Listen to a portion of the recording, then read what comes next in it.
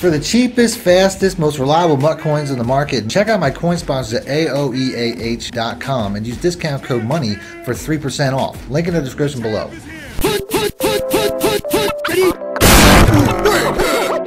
Welcome back, Money Team. This is Madden Moneyshot. Sniff out the man cheats as always. Got my top 10 cheats video. This is a video I do every year. This is the top 10 tips, tricks, and cheats you probably don't know about for offense, defense, and special teams that'll help you win games. As always, if you guys want to see more videos like this, hit the like button. Let me know in the comment section. Other than that, let's go and get right into the video. Now the first trick isn't necessarily going to help you in gameplay, but it's definitely pretty cool. I'm going to show you guys how you can basically go through any menu system in the game on a lot faster pace, whether it's online in the marketplace uh, on your MUT team or just picking a team before you go into head-to-head. -head. I'm going to hit the down stick on the left with both controllers at the same time. You can see they pretty much go at the same pace, but if I start hitting the left trigger repeatedly, you can see it goes through the menu on the left side much faster. And that's something you can use in just about any menu in the game. I mean, if I'm just going down here, you see it's a pretty slow pace, but if I want to go back up top real quick, I just basically hit the left trigger a bunch of times. You can see the speed difference. Another cool tip when it comes to the functionality of Madden that I get a lot of questions about in my videos is how do you respot the ball in practice mode without actually hitting start and going to respot the ball in the practice menu. It's really simple. All you have to do is hold in the left trigger and push in the L3 button or the left stick. If you do that really quick, you can see how you basically get free functionality to move the ball anywhere you want on the practice field. Next up, we'll go over special teams. Most people don't know that when you're kicking long field goals like this, to increase the range of your kicker's foot, all you have to do is pull the left stick down towards you, and you can see it dramatically increases the length at which my kicker has a chance to hit this field goal. Now it's really just up to me to hit the power all the way through, and you'll see how this goes from a kick that would have most likely fell into the end zone to a kick that went right through the uprights. Next up, we'll go over extra points. Most people don't know that the closer you get to the 100% marker when it comes to kicking, the faster the meter drops when it comes back down. To correct this, simply don't let the meter get past the dark blue area and it will come back down at a much slower pace, making it much easier to kick extra points and short field goals. When it comes to kickoffs, if your opponent has a wedge block set up, the best way to take care of this is to essentially hit stick the first blocker. You can see right there, we go right through the blocker and are able to tackle the running back. A better method when it comes to kickoffs, however, is kicking to the fullback. All I like to do is pick kickoff in any direction, doesn't really matter. Then you can hit the Y or triangle button so you can kick it in the sky and direct it towards the fullback, which is typically right in front of the return man. Then I'm gonna kick it at about 60 to 70% power and you're going to see how the ball goes right to the fullback every single time. A lot of people know how to do this. It's really something that gets used quite a lot. But ultimately, if you're returning it with a fullback, they're never really fast enough to return it for a touchdown. And you can see you can catch them pretty short most of the time anyway.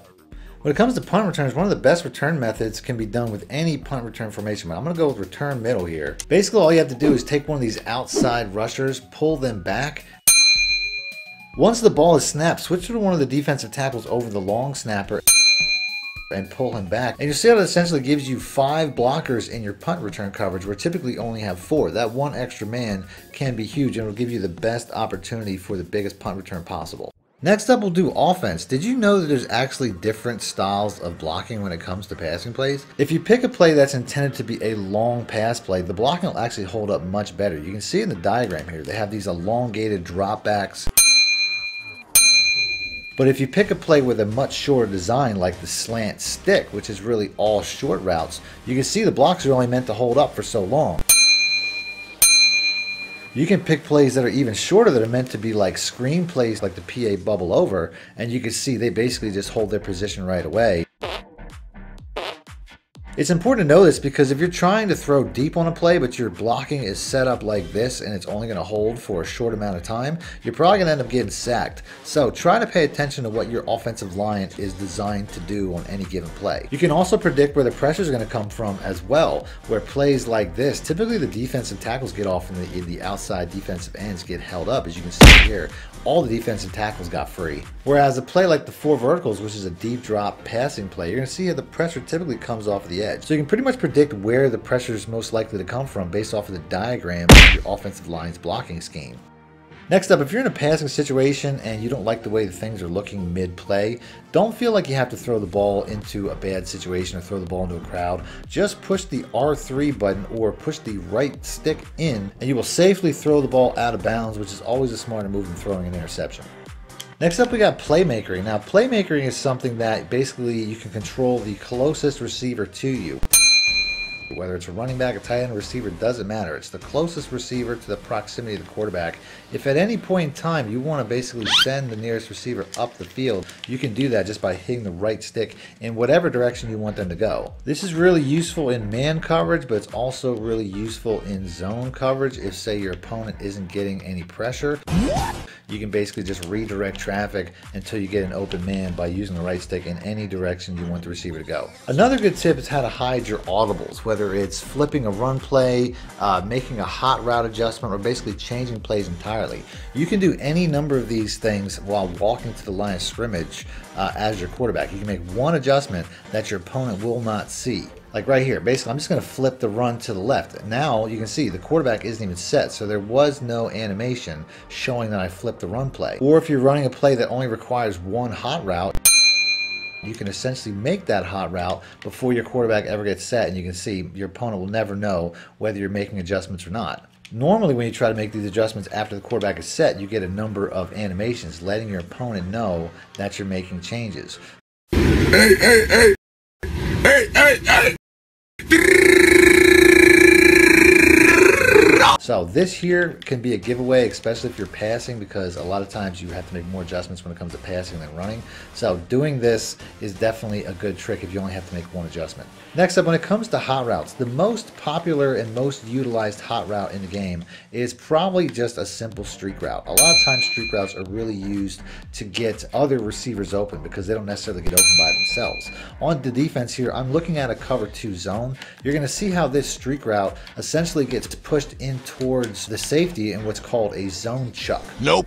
Now, what people don't know is there's an easy way to get around this zone chuck by simply putting this B route on a fade instead of a streak. You can see how the arc diagram changes from where he's going straight into the defensive player to where he's basically going out and around the defensive player. Doing this and doing it from a hash mark to the open side of the field like I am now, you're going to see how this receiver will essentially get outside of that cornerback and basically get him open up the side of the field, which he otherwise would have been covered. Next up, when it comes to routes, there's not a glitchier route in the game than the delay fade. This next play here I'm going to show you guys, the PA fork, is easily my favorite play in the entire game. You can see it average 42 yards a play, and I've called it 400 times.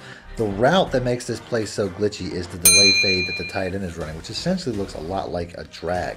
There's different types of delay fades you can do. I mean, you have it in your option. At any point in time in the audibles, you can put this tight end on delay fade, but by basically just hitting up on the right stick. All you really have to do in a play like this is put this B route on a streak, and this play here, because of this delay fade, will be a one-play touchdown against any single defense in the game. And it all has to do with the fact that the, the cornerbacks, the safeties are all kind of waiting for that route to develop.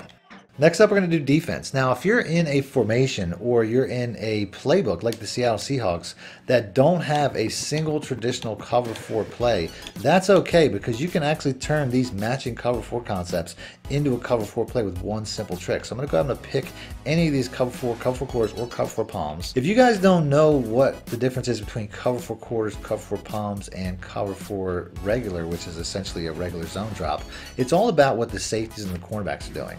A lot of times in regular cover four zones, they just kind of drop back and don't land and get behind them. When it comes to cover four matching principles like this, a lot of times they act closer to man coverages where they'll uh, basically move out of their area completely to follow a receiver.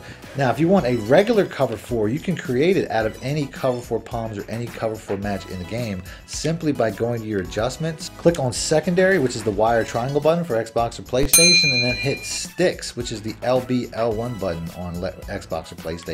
Now, this coverage here will essentially turn these deep zones away from the matching principles. You'll see, no longer are these zone coverages running wild, and you can see it's just completely different coverage. So while not every formation and not even every playbook has a traditional cover four in it, all you have to do to have a cover four in your favorite defense is find a cover four quarters or cover four palms and play sticks, and you can have a cover four in every defense in the game. Next up, we're probably going to go over one of the most important things when it comes to playing mobile quarterbacks, and that's the R3 right click button.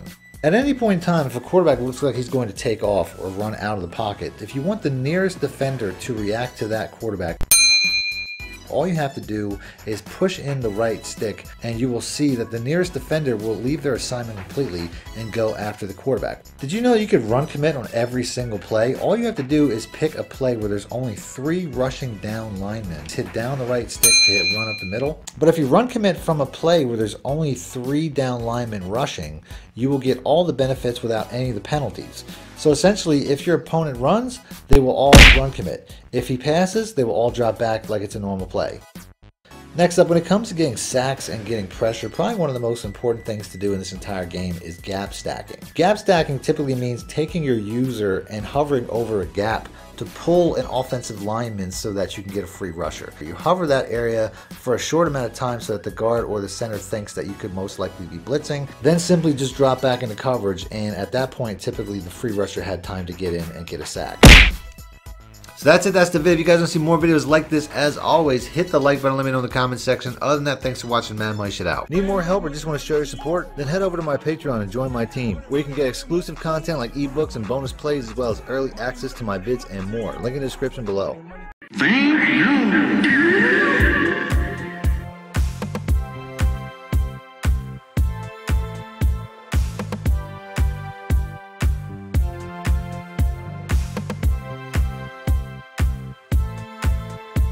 See you.